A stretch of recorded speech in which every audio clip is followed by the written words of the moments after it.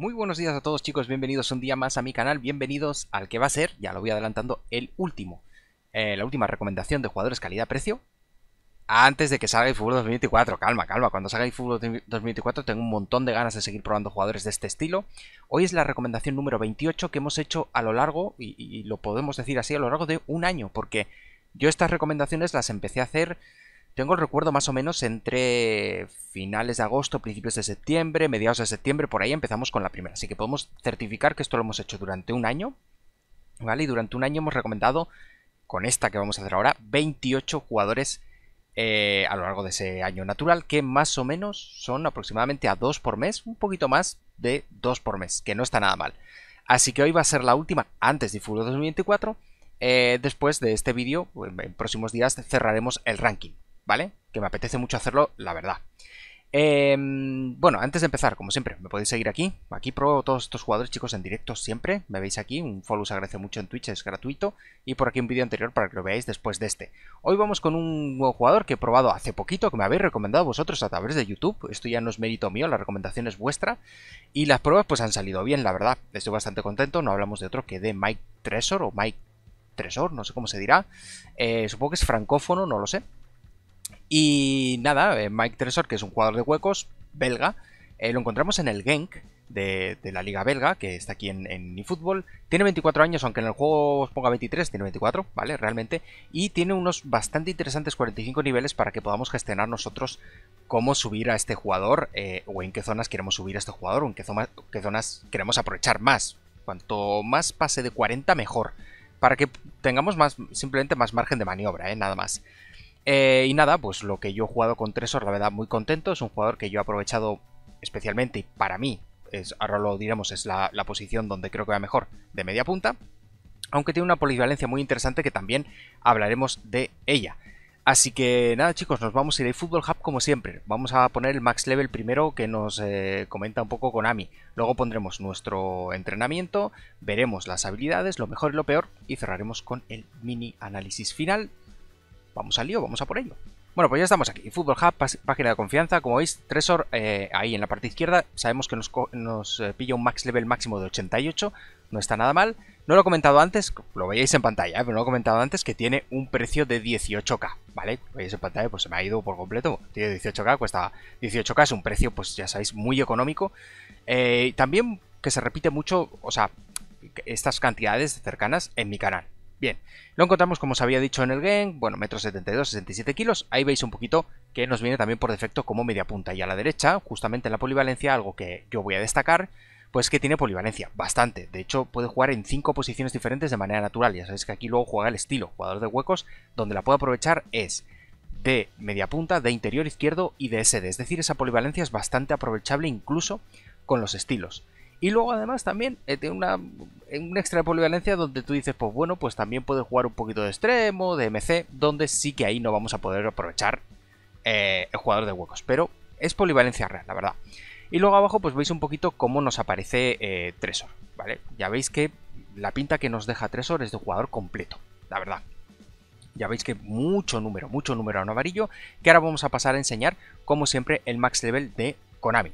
Lo ponemos, le vamos a dar max level. Konami también piensa en ponerlo de media punta, que lo veis aquí como max level, que es la posición por defecto de él. Yo estoy de acuerdo, la verdad.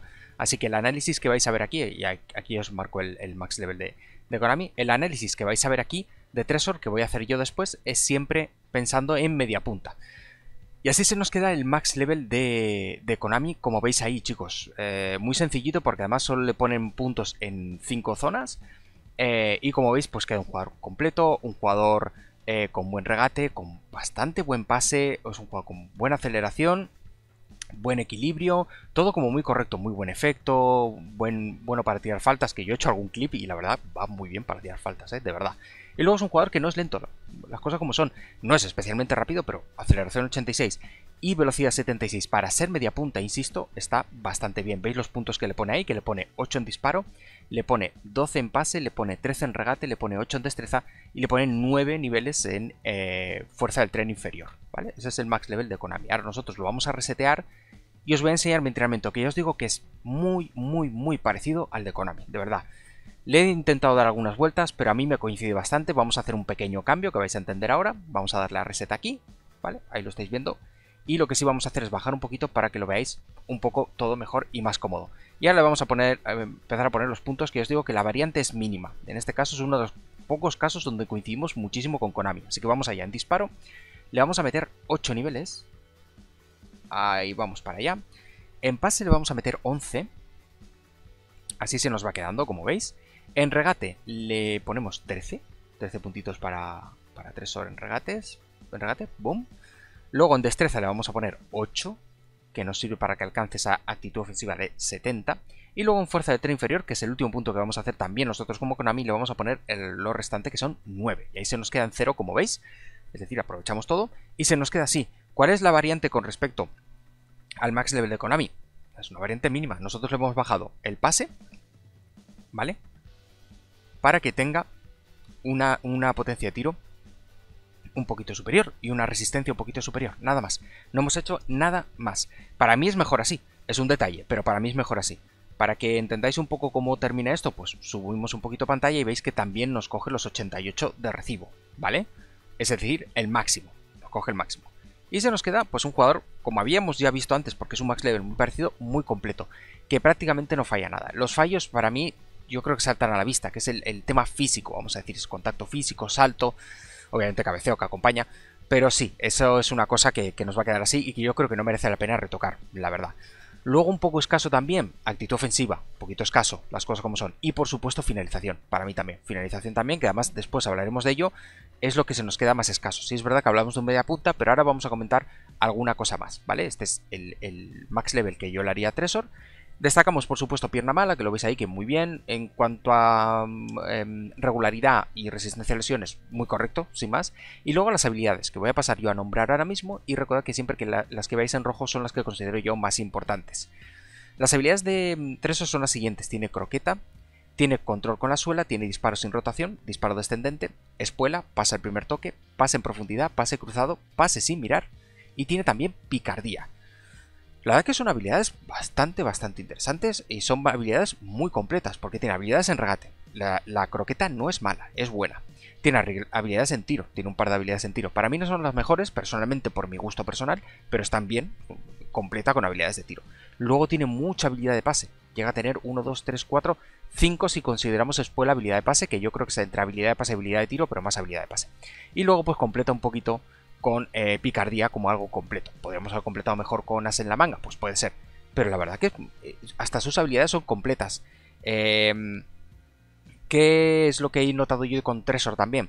Pues eso, agradable de manejar, em, muy sencillito, enseguida ya vemos por dónde nos podemos ir, ese jugador que podemos jugar bien entre líneas de media punta, jugador de huecos además que se aprovecha muy bien, ese jugador que también podemos aprovechar de SD, aunque tendríamos que cambiar un poquito este entrenamiento. Es un jugador que la verdad apetece comprar y que no te va a doler comprar para nada. Para nada. Esto lo hablaremos un poquito al final también. Yo os pongo, los datos aquí y ahora vamos a ir a lo mejor lo peor y luego sí que hacemos ese mini análisis final. Así que venga, vamos a por ello. Bueno, lo mejor, chicos. Eh, vamos con lo primero que he querido destacar yo, que sin duda son las habilidades de pase. Y es que tiene bastantes habilidades de pase. Hemos contabilizado hasta 5 si ponemos eh, espuela. Eh, que además es una habilidad que a mí me parece muy buena, por cierto, que es muy poco valorada para mi gusto y habilidades de pase yo creo que va sobrado. Por eso para mí Tresor siempre es más media punta que SD. Es, mi criterio. Luego lo siguiente que voy a destacar es Pierna Mala. Pierna Mala un jugador de 18k que tiene una buena polivalencia, que tiene un buen estilo como jugador de huecos y que tiene un doble 2, ¿vale? A mí me parece que es de destacar. Lo siguiente que vamos a destacar es la polivalencia, porque tiene polivalencia real, jugador de huecos y puede aprovecharse para interior izquierdo, media punta y SD. Mi recomendación, como siempre, media punta. Pero tiene polivalencia, además tiene más, puede jugar de extremo izquierdo y de delantero, de manera natural. Pero además tiene esa polivalencia real que os digo yo, que es eh, como jugador de huecos aprovecha interior izquierdo, aprovecha media punta y aprovecha SD de manera natural. Y la última que vamos a poner es una que yo repito mucho, pero que me gusta explicar cuando la pongo, que es completo. Y es que Tresor para 18k es polivalente, bien de pierna mala, eh, correcto en regularidad y resistencia a lesiones. Eh, todos los números, prácticamente todos, están en verde y lo que está y lo que no está está en amarillo y solo le faltaría en el, tema físico, contacto y salto. Nada más en todo lo demás está bien, además de que tiene habilidades completas. Es por eso que pongo aquí completo. Y terminamos con lo peor, que para mí lo peor lo tengo claro, eh, voy a ver si la última no creo un poco de discrepancia, pero para mí la primera es finalización. Y mirad, eh, el 71 de finalización para un, para un mediapunta no es poco. El problema que tengo con Tresor es que yo personalmente he notado en el juego, he jugado muchos partidos últimamente, todos ellos, la verdad que bastantes, no sé, 30, 40, no sé, 50, por ahí andará. Y sí que he notado que es un poco fallón, es un poquito fallo. Cuando se encuentra en situación para meter gol, muchas veces goles que tú parece que son sencillos, pues los falla y entiendo que esa finalización se nota. Aparte de, ese, extra que he notado yo, que puede ser circunstancial, no lo sé. Pero para mí finalización. Y lo otro que puede ser un poco más mm, controvertido es el tema de físico. ¿A qué me refiero con físico? Contacto físico y salto. ¿Hay muchos jugadores de este estilo, de este precio, que tengan este contacto físico que tiene Tresor? Sí, la verdad es que sí las cosas como son. El problema es que yo lo he notado, tíos. no sé si porque me fijo más ahora, pero sí que es verdad que balón dividido, o se acerca un central, o se acerca un MC2, y prácticamente te la, te la ventila, ¿no? Cuando estás ahí disputando la, la, pelota cuerpo, cuerpo a cuerpo, yo lo he notado un poco extra.